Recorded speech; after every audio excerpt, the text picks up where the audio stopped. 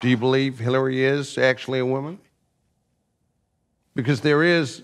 I know. There's a lot of lots of ideas floating around, and you know, I know her. Well, how to explain that? How to explain what? Look in here.